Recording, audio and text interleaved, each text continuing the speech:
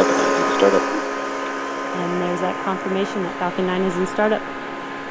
Next up at T minus 45 seconds, we should hear the call out for a go for launch. LD is go for launch. And there's that call out for go for launch.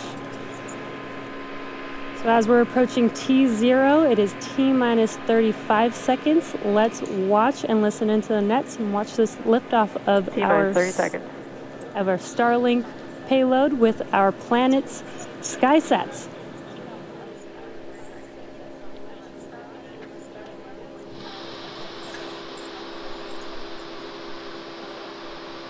T minus 15 seconds. Falcon 9 is configured for flight. 10, 9, 8, 7, 6, 5, 4, 3, 2, 1, 0. Ignition. Of Falcon 9 and Starlink Ocho.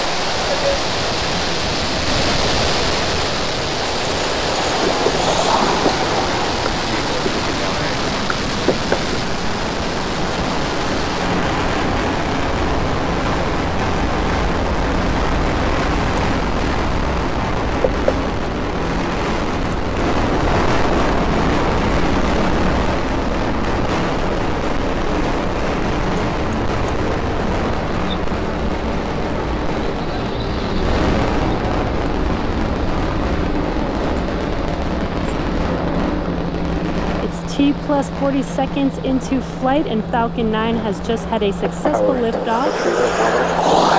Successful liftoff from Pad 40 for its first Starlink rideshare, carrying three Planet SkySats and our SpaceX Starlink satellites.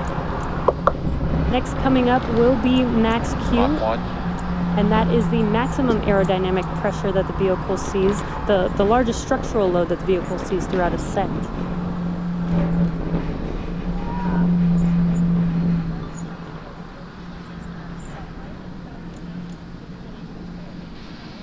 Max Q.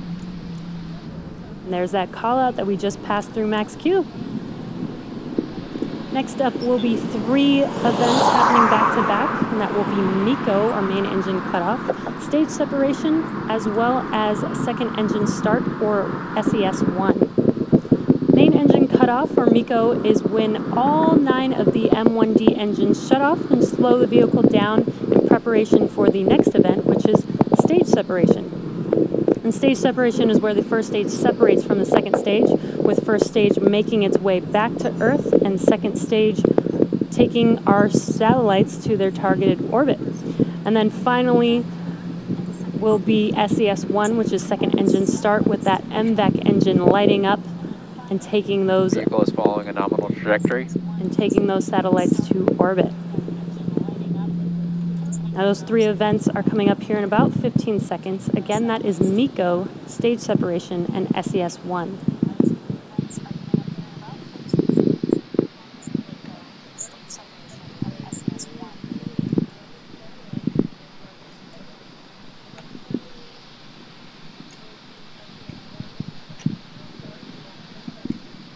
Stage separation confirmed.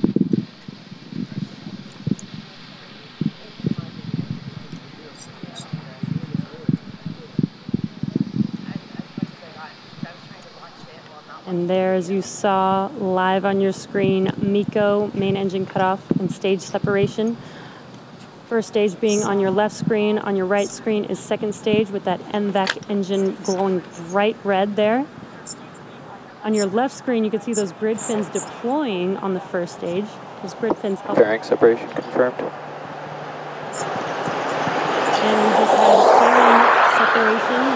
We had a successful deployment of those fairing halves.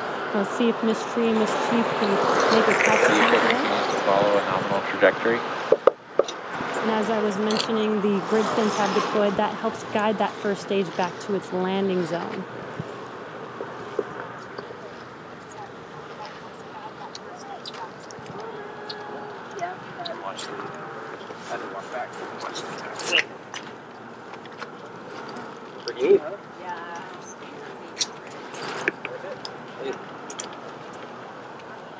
Acquisition of signal Bermuda.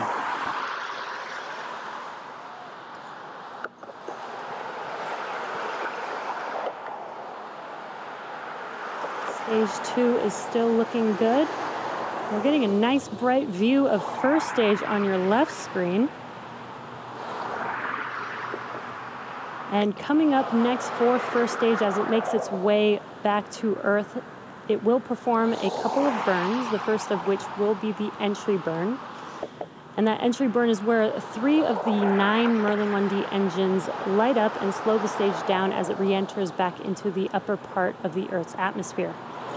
The second burn is called the landing burn, and this is when the single engine on the on the vehicle, the E9 engine, ignites and brings the vehicle speed down rapidly in order to land on the drone ship. And again, we are attempting to land on our drone ship. Of Course I Still Love You today.